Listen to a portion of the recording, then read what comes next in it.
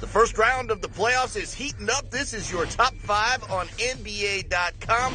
Starting off, of course, at number five in San Antonio. Richard Jefferson, backdoor, please. Sweet high-low action. Nice pass from Tim Duncan down to Jefferson for the Jam. Spurs win the game at number four.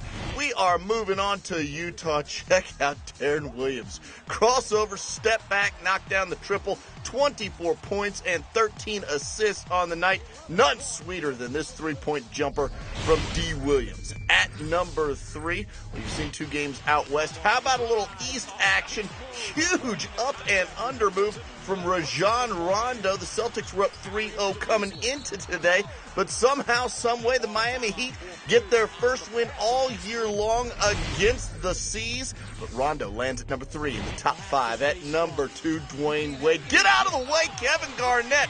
Garnett just steps aside as D Wade comes flying to the hole. Check out the big ticket. Move away. The three train is coming through. But at number one, we are headed up to Chicago. LeBron James, just a casual half court jump shot.